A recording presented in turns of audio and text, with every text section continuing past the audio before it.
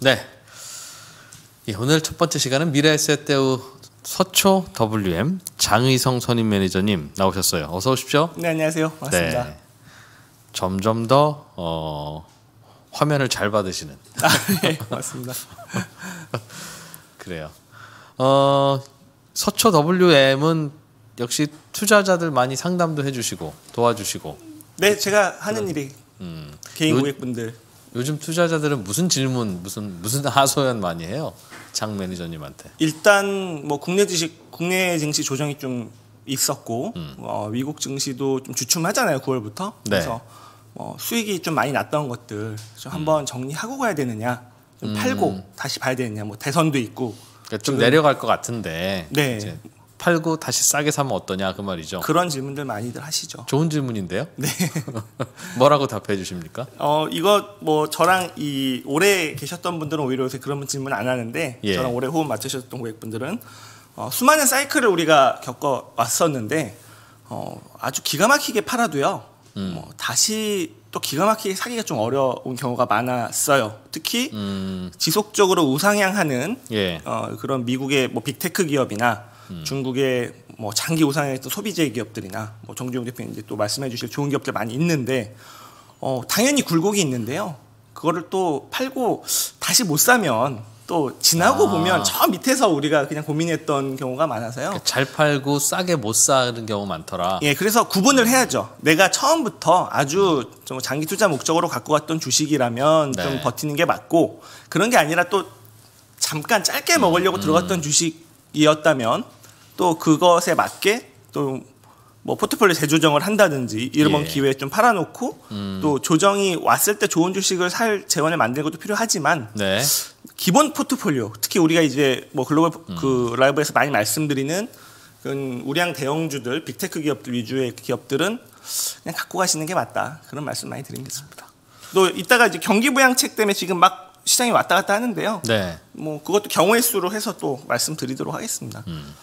미국 시장의 키워드는 말씀하신 대로 경기 부양책 네. 그거인 것 같고 그 얘기 하기 전에 에, 에피타이저부터 중국 시장은 오늘 어떻게 끝났습니까? 네, 오늘 일단 그 중국의 전기차 업종 강세됐던 얘기랑 음. 또 이커머스 9월 이제 지표 나와서요. 또 새로운 격전지인 이제 음식료품 배달 시장 말씀드릴 건데요. 음. 원래 제가 좀 항상 한 1대 2 정도로 미국 비중이 많았는데 오늘 좀 중국 걸 많이 갖고 왔거든요. 음. 네. 음. 공교롭게 또 정수영 대표님 오신 날또 짧은 지식으로 또 아니요, 어, 뭐 중국 예, 지식 지식도 알아두면. 전문가 앞에 예. 뒤에 모셔놓고 또 말씀드리게 됐는데요. 일단- 원래 이 주식이라는 게 요즘은 valuation하는 방법이 네. peer group이라고 하죠. 네네. 다른 나라의 비슷한 업종의 요 회사는 valuation이 이렇다. 그럼 이 회사는 valuation이 높다 낮다 이렇게 상대적으로 비교하니까 네. 전 세계 증시 다 알아야 되더군요. 맞습니다. 그래서 예. 일단 증시부터 마감 증시부터 좀 보도록 하겠습니다.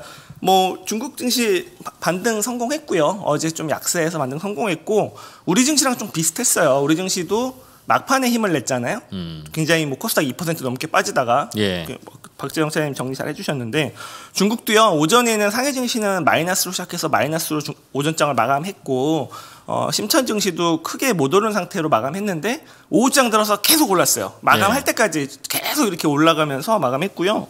지수 보면 뭐 상해 종합 지수는 0.47% 상승했습니다. 심천 성분 지수 1.36% 올랐고요. 창업판 지수 1.89% 올랐습니다. 과창 50도 0.99% 올랐고요. 어제 유일하게 플러스였던 항생만 조금 한 0.11% 상승으로 좀 약했고 항생 테크 지수도 0.97% 올랐습니다. 예. 뭐 위안화 고시 환율은 6.6930 위안으로요. 달러당 또 절상했습니다. 이렇게 좀 보시면 될 것 같습니다. 예. 요즘 중국은 분위기 좋아요, 그렇죠?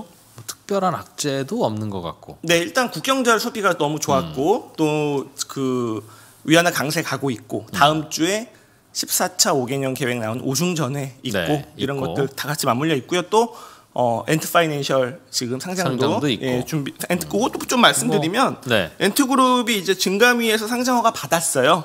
그래서 원래는 10월 말 예상했었는데 11월 초 정도 예상으로 지금 음. 얘기들이 나오고 있습니다.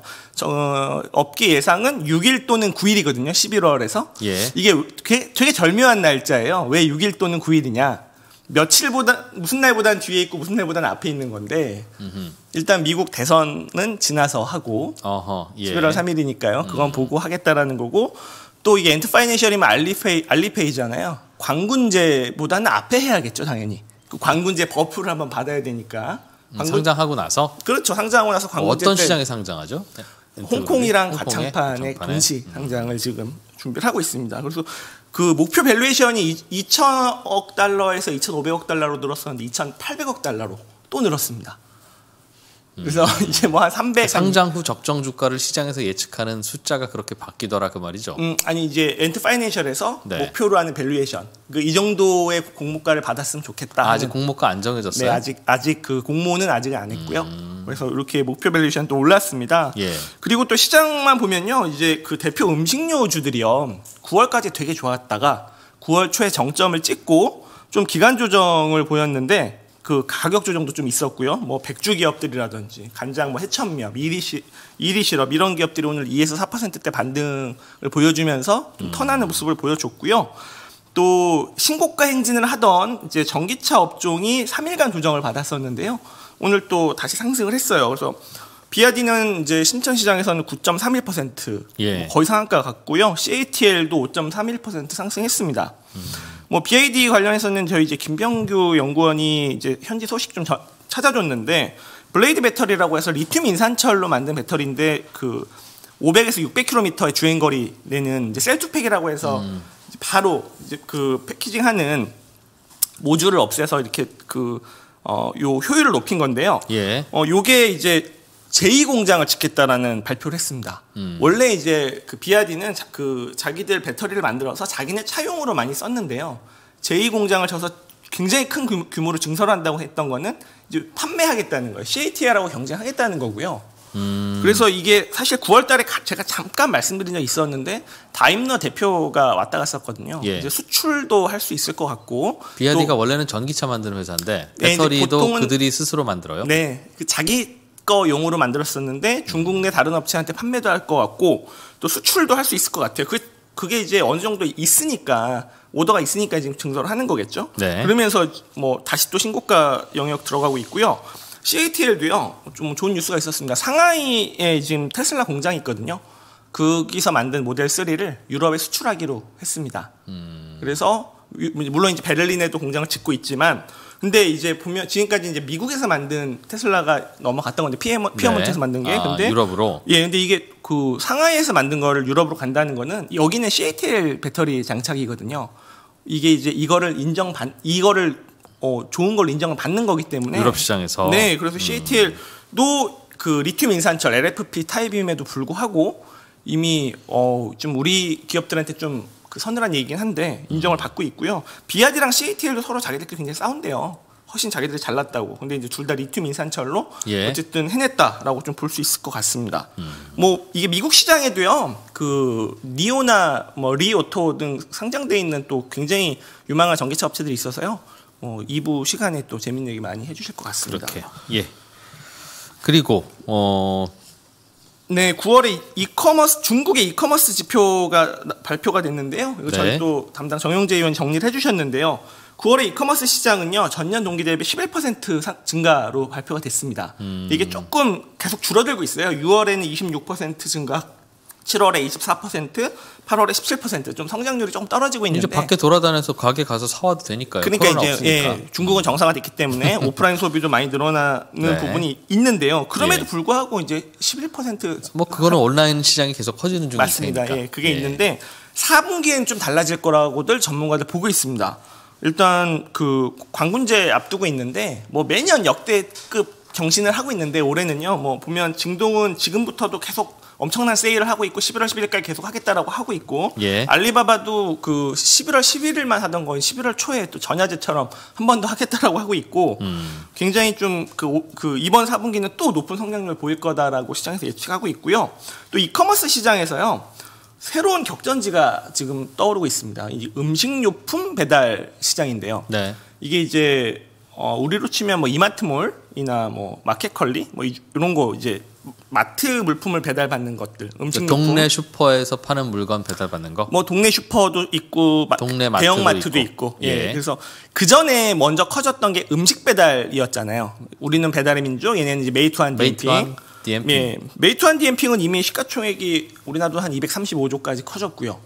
그리고 이제는 뭐 그냥 백조 우스워요. 그렇죠. 굉장히 큽니다. 이게 어, 사실은 그 상장하고 나서요. 그 알리바바 계열 어러머랑 경쟁이 치열한 구간 한 1년 6개월 동안 주가는 횡보했어요. 못 올랐는데 메이투안 디엔핑이 예, 지금 뭐 한- 거의 한 70% 가까운 점유율로 이제 압도적인 경쟁에서 승리를 하면서 음. 주가는 올해 뭐한 3배 정도 올랐거든요. 음. 그래서 어 이게 이제 스- 승리자가 되니까 이런 200조 원대 기업이 나온 건데요. 네. 그 다음 시장 next로 다음 격전지가 음식료품 배달 시장입니다. 아직은 이제 e-commerce에서 한 5%에 불과한 시장이고요. 올해 이제 우리나라 돈으로 이제 약 84조 원 정도 되는 중국의 시장이 될 것 같은데 이것도 전년 대비 한 46% 성장 예상된다고 좀 정영재 의원 정리해 주셨는데 집에서 해 먹는 요리 재료 같은 거 그런 것들을 다저 뭐 식자재도 있고 그냥 우리가? 슈퍼에서 슈퍼나 마트에서 사는 모든 거라고 하면 돼요. 이게 이마트몰이라고 생각하시면 돼요. 이마트몰 들어가면 아. 우리가 이마트에서 살 수 있는 모든 걸 살 수 있잖아요. 자꾸 말씀드리는 있고. 이유가 그런 건 그럼 없었나 과거에 인터넷 쇼핑이 결국은 마트에서 사는 거 어, 인터넷으로 장바구니에 담으면 배달 오는 건데 네, 맞습니다. 예. 그 또 우리도 지금 그게 굉장히 커진 거고요. 예. 그리고 또 그동안은 사실 인프라가 이렇게 갖춰지지 않았었죠. 그래서 음. 근데 이제 이게 중국도 굉장히 커지고 있는데 일단은 또 역시 알리바바가 어 좀 하고 있어요, 제대로. 다- 당연히 모든 거는 이제 알리바바 계열과 텐센트 계열의 전쟁이잖아요. 근데 네. 알리바바 이제 세 가지 하고 있는데 일단 허마라고 해서 알리바바 공부하시는 분들 많이 알고 있는 건데 허마 셴셩이라고 네. 셴셩이 아마 선생이라는 뜻일 겁니다. 그래서 그 이제 프리미엄 슈퍼인데 우리나라로 치면 피, PK 마트, 신세계 PK 마트 뭐 이런 뭐, 좀, 예, 어. 좀 프리미엄 슈퍼. 조금 고급스러운 네, 그렇습니다. 지금 14개 도시 한 250개 정도 매장이 있다고 하고 예. 어, 이제 허마는 이제 회원제 창고형 매장도 하나 오픈을 했어요. 음. 코스트코 같은 것도. 근데 이제 이게 와서 사도 되고요. 좋은 식자재들이 있는데 또 반경 3km 내에 있는 건 30분 안에 배달해 주기 때문에요. 네. 30분 안에 내가 클릭해서 30분 안에 온다는 거는요. 내가 가서 사는 것보다 빨리 오는 겁니다. 그렇죠. 그렇죠. 가서 사는 것보다. 그거 어떻게 할까 그거? 음. 3km라는 이제 제한이 있지만 좀 그런 것들 그 뭐 지금 좀 이따 말씀드릴 다다 넥서스도 1시간 안에 배송을 해 주는데요. 이런 거 하고 또 티몰 슈퍼라고 해서 이제 창, 창고형 온라인 마트도 하고 타워 타오시엔다 이게 발음 맞는지 모르겠습니다. 정 대표님 이게 타오시엔다 이게 선아트라고 하는 이제 중국의 1등 마트 체인이 있는데 요거 기반의 이제 또 플랫폼도 알리바바 하고 있어요. 써나트는 중국 내 이제 1위 대형 마트 체인인데 알리바바가 또 사- 원래 지분 36% 갖고 있었는데 또 36% 늘렸어요 최근에. 그래서 72%로 늘렸고요. 오늘 설명해 주신 허마센션 어, 요건 이제 타오시안다 다 알리바바 계열이라서 알리바바 주가랑 연동되는 거라고 볼 수 있고요. 온라인 쇼핑도 되고 오프라인도 되고 네, 네, 맞습니다. 근데 예. 그거에 대한 또 경쟁자, 강력한 경쟁자가 오늘 좀 말씀드린 이제 다다넥서스라는 기업인데요. 다다 넥서스. 네, 예. 다다넥서스는 미국에 상장이 되어 있고요. DADA 다다니까 찾기 쉬우실 거예요. 한번 설명드린 한 번 소개드린 적이 있는데 예. 그때보다도 한 20% 이상 좀 오르긴 했는데요. 최근에는 이게 이제 그 증동이 47.9% 갖고 있어요. 대주주로 그리고 월마트가 10.7% 갖고 있는데요. 어, JD 따우자라고 해서 음식료품 배달하는 것과 배달 대행 뭐든지 배달해 드립니다. 뭐 꽃 배달부터 해서 뭐 모든 걸 배달해 주는 다다나우 뭐 퀵서비스 같은 역할도 하고 이런 것들을 하는 것들을 같이 갖고 있는데요. 이 JD 따우자는 어 2, 3, 4위, 5위, 2, 3, 4, 5위 마트랑 다 제휴를 맺고 있어요.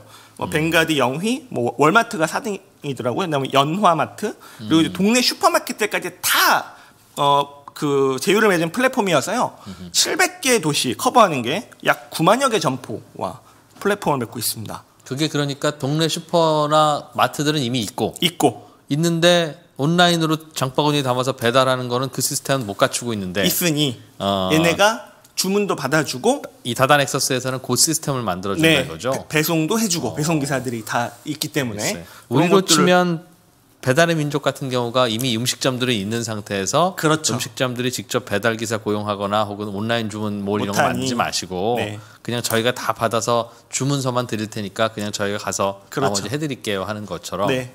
여기 중국에서는 마트들을 대상으로 다다 넥서스가 그런 걸 하고 맞습니다. 있다는 지금. 뭐 배달의 민족도 비마트라는 걸로 그런 음. 걸 하고 있는 거고요. 그래서 보면 규모가 굉장히 커요. 그래서 아직은 이 시장에서도 다다 그 JD 따오자 다다 넥서스의 점유율 한10% 정도밖에 안 되는데요. 왜냐면 예. 음. 허마가 좀 크거든요. 허마가 훨씬 큰데 근데 거- 규모를 보면 700개 도시 9만여 개의 점포 그렇게 보면은 앞으로 다다 넥서스가 좀 잘만 하면 앞서 나갈 수 있는 여건 좀 형성이 됐다라고 보고 있고요. 네. 어 이게 치열한 경쟁 구도인 거죠. 마치 어러머와 메이투안이 경쟁을 하듯이 여기서 만약에 승리를 한다면 잘해서 음. 메이투안 제2의 메이투안 디엔핑이 될 수도 있다라는 후보로들 시장에서는 보고 있는 것 같고요.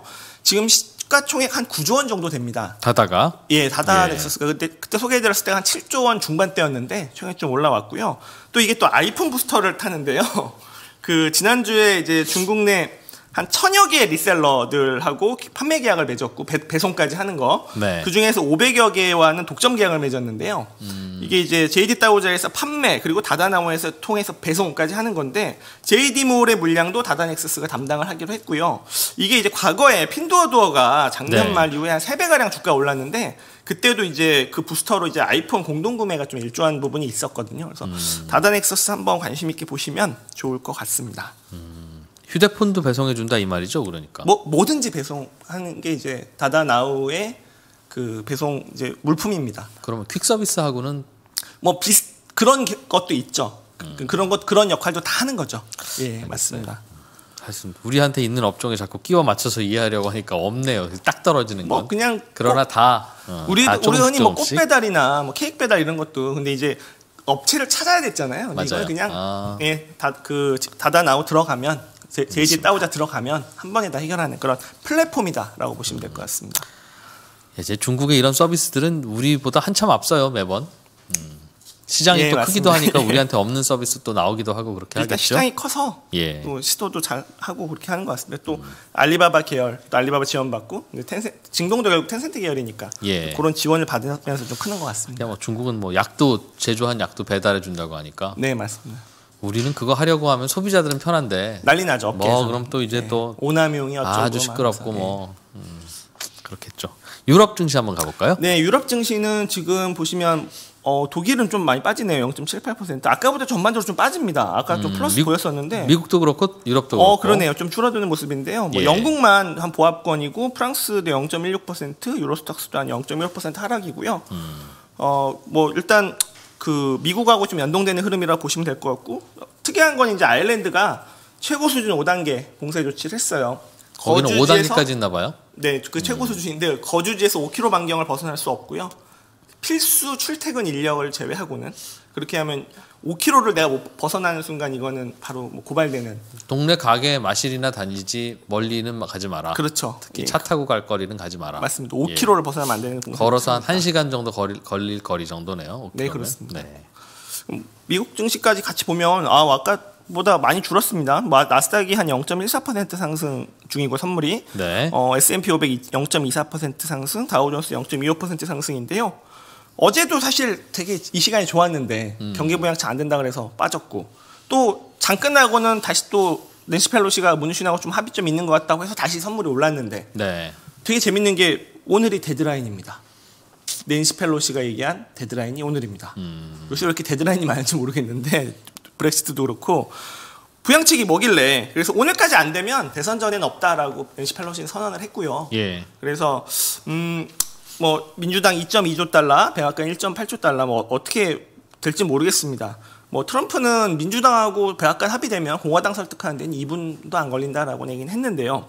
근데 이 경기 부양책이 뭐길래 왜 이렇게 이것 때문에 시장은 좌지우지하느냐 그게 좀 들여보면요. 경기 부양책 일단 실물 경제는 되게 중요하죠. 현금이 살포되는 거기 때문에 그렇죠. 보조금이나 뭐 이런 것들 살포돼서 실업수당이 내는 게 살포돼 서 당연히 실물 경제도 중요한데 시장에도 굉장히 중요하거든요. 그 왜 그러냐면 제가 심증만 갖고 있었는데 그 데이터를 이제 KTV에서 이제 금요일마다 주간 전략자로 내시는 게 있는데 거기서 데이터를 딱 봤어요. 이 뭐냐면은 지금 재무부 미국 재무부가요 현, 현, 현금 예치금으로 한 1조 7천억 달러를 가지고 있습니다. 재무부 통장에 예, 그 예. 근데 보통 한 1,500억 달러, 많아봤자 한 3, 4천억 달러 갖고 있었는데 지금 1조 7천억 달러를 갖고 있어요. 현금을. 그거 어디서 난 돈이에요? 그게 다 이제 국채 발행하고 찍- 그 페드가 다 사줘서 돈을 준 건데 네. 지금 그 돈을 못 써가지고요. 그대로 연준에 다시 예치하고 있습니다. 아, 푼돈 실제로 그래서 음, 그죠. 그 나와야지 이제 네. 부양책이 나와야 그 돈 쓸 수 있다는 네, 거죠. 연준이 실컷 국채 찍은 거 사줘서 1조 7천억 달러 밀어줬는데 그 돈 다시 연준에서 지금 예치하고 있거든요. 예. 이거 그러면 쓰는 방법은 뭐겠습니까? 이게 경기 부양책이죠. 음. 뭐 그래서 백악관의 1조 8천억 달러하고도 어떻게 숫자가 어, 뭐 고묘하게 비슷한데요. 어 이게 이제 당연히 경기부양책으로 써야 되는데 그러면은 실물 경제도 중요하지만 네. 연준이 요새 계속 그런 얘기했잖아요. 제가 심증이 그거였거든요. 우리 할일 다 했다. 그리고 이제는 재정 정책을 할 때다. 너무나 다- 당연한 얘기였던 겁니다. 아니 지금 돈을 줘- 쓰라고 줬더니 다시 우리한테 지금 맡기고 있는 상황에서 네. 어떻게 또 양적 완화를 해서 국채를 또 사줍니까? 그래서 이 돈을 다 써버리고 나면 경기부양책으로 화끈하게 써버리고 나면 연준은 또 사줄 용의가 있는 거죠. 또 국채를 찍으면 그럼 양적 완화가 다시 가동할 수 있는 거거든요. 시장은 사실은 실물 경제는 그 돈을 돈이 가는 게 중요하지만 네. 시장은 연준이 한번 또 움직여 주는 게 되게 중요한 거잖아요. 이게 경기 부양책하고도 맞물려 있더라는 거죠. 그래서 시장에도 그래서 연준 되게 답답한 겁니다. 돈 줬잖아. 왜 안 쓰고 있냐. 그리고, 또 시장은 근데 나는 쟤네한테 돈 줘서 저거 써야 또 줄 건데 왜 시장 니들은 나만 보고 있냐. 좀 이런 답답한 상황이라고 볼 수 있고요. 어, 그래서 이제 경기부양책 오늘 될 거냐 데드라인인데 글쎄요, 일단은 뭐 알 수는 없지만 쉽지 않아 보이긴 하죠. 쉽지 않아 보이긴 하는데요. 근데 알 수 있는 게 하나 있어요. 대선 오늘 안 되면 대선 지나고는 꼭 되겠죠. 왜? 통장에 돈이 1조 7천억 있잖아요. 쓰라고 준 돈이. 네. 그럼 무조건 하긴 한다는 얘기입니다. 오늘 되냐 안 되냐의 문제일 뿐이고요. 그래서 이제 어 그 근데 이런 게 있어요. 만약에 주식을 이제 팔아놓고 있는 분들, 저한테 질문하셨던 그런 고객분들도 만약 에 팔아놓고 현금이 있다고 쳐볼게요. 근데 만약에 오늘 합의되면 어떡할 거예요? 만약에 가능성이 높진 않지만 사야죠. 그러면 이제 뒤늦게 막 예, 추격 매수가 되는 그 스텝이 꼬이게 될 수 있기 때문에 네. 항상 그래서 그런 주식 시장은 시장은 upside risk라는 게 있어요. 그래서 그, 그것도 좀 생각을 하셔야 되는 거고요. 또 주식을 꽉 채우신 분들 오늘 안 되면 또 빠질 수도 있겠지만 그 좀 조금만 참으면 되지 않을까. 결국은 된다. 그러면은 실물 경제도 돌아가지만 다시 그 양적 완화 사이클도 모르겠습니다. 이게 뭐 그 그건 이제 100%는 아니겠지만 네. 가능성은 또 생기는 거니까요. 그렇게 보시면 될 것 같습니다. 주식 투자하시는 분들 중에 나이 드신 분들이 이제 점점 많아질 텐데 고령하니까 아마 그게 그러면 그 여윳돈이 아니잖아요. 그 돈이라고 하는 게 노후 자금이라고 하는 건 당장 쓸 돈은 아니더라도 네. 여윳돈이어서 조금 손해 봐도 괜찮아요. 할 수 있는 돈이 아니라서 아마 그렇긴 할 거예요. 네. 미국은 근데 상원이 이번에 민주당으로 바뀌지 않으면 네. 지금은 공화당 상원이 계속 안을 퇴짜 놓고 있는 거 아니겠습니까? 네. 근데 대통령이 바뀌어도 공화당 상원이 그대로 있으면 계속 똑같은 상황일 텐데. 약간 이제 선거랑도 맞물려 있는 게 같은 게 이제 음. 공화당 의원들은 어쨌든 자기 지지자들은 돈 쓰는 일단 글쎄요. 공화당 음. 내에서는 후보가 돼야 될 거 아니에요. 선거 끝나면 계산 달라진다. 뭐 통장에 있는 돈을 그러면 어디다 알겠습니다. 쓰겠습니까? 그거를 예. 좀 증거로 보셔도 될 것 같습니다.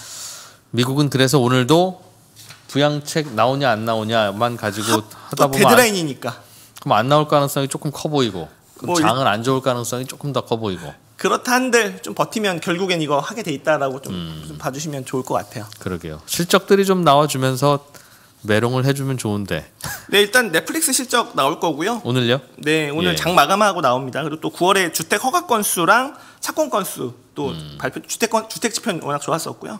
넷플릭스는 일단 1분기 때 거의 1,500만 명 이상 증가를 했고 2분기에도 1,000만 명 이상 증가했거든요. 네. 한 500만 명대 이상을 하는데 그 컨센서스 지키냐 못 지키냐가 좀 중요할 것 같고요. 음. 그리고 이제 테슬라의 이제 Full Self Driving 테스트가 이제 비공개로 시작이 되는데 그거에 대한 정보를 얼만큼 노출시켜 주느냐 아, 또 좀 관건이겠죠. 이게 음. 오늘 시작이니까요. 그리고 내일 장 종료 후에 테슬라 실적 발표는 정말 중요할 것 같- 같습니다. 네. 시장이 얼마나 기대하고 있는지 모르겠네요. 이 부양책에 대해서 어차피 안 될 줄 알고 있었어라고 하면 뭐 조용히 넘어갈 거고 네.